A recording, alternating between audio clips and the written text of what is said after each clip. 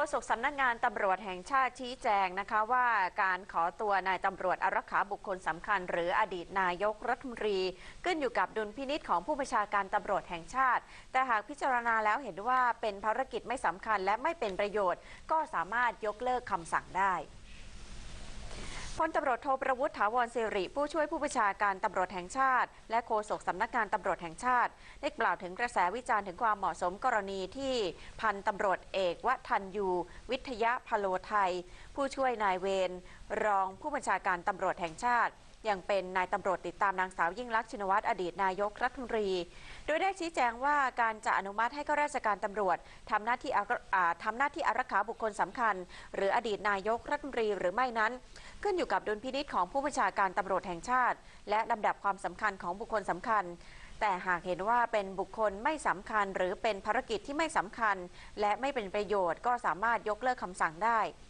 อีกทั้งการขอกำลังจากสำนักงานตำรวจแห่งชาติไปดูแลบุคคลสำคัญ จะต้องเป็นการร้องขอและพิจารณาแบบปีต่อปี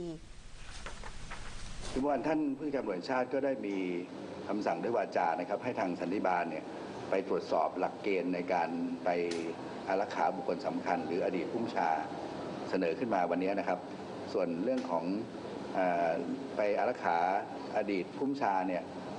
ที่ที่มีสื่อมวลชนถามว่าทำได้ไหม คือเราก็มีระเบียบ แล้วก็ใช้ระเบียบในเรื่องของการราคาบุคคลสำคัญ และผู้บัญชาเนี่ยอนุญาตให้ไป แต่รายละเอียดแต่ละรายละเอียดเนี่ยมีข้อยกเว้นบางบางข้อยกเว้นก็คือเป็นเฉพาะรายซึ่งผู้บัญชา สามารถใช้ดุลพินิษผู้บัญชาในที่นี้ก็คือ ท่านผู้การตำรวจแห่งชาติ สามารถใช้ดุลพินิษได้เฉพาะรายนะครับก็ก็อาจจะเป็นในช่วงนี้คงต้องตรวจสอบทั้งหมด ถ้า ท่านผู้การตำรวจชาติได้บอกไว้แล้วถ้าอะไรที่ไม่ถูกตามระเบียบก็สามารถที่จะยกเลิกได้ ก็จำเป็นต้องยกเลิกครับ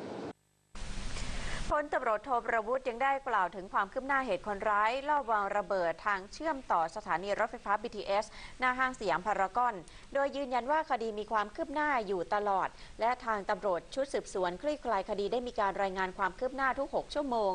อย่างไรก็ตามยอมรับว่าจนถึงขณะนี้ยังไม่สามารถสรุปได้ชัดเจน ว่าชนวนเหตุการณ์ลอบวางระเบิดมาจากประเด็นใด เพราะยังไม่ทราบกลุ่มผู้ก่อเหตุชัดเจน ซึ่งอาจเป็นกลุ่มผู้ก่อเหตุเดิมที่ทางเจ้าหน้าที่ตำรวจมีรายชื่ออยู่แล้ว เพียงแต่เปลี่ยนบุคคลหน้าใหม่เข้ามาก่อเหตุเท่านั้น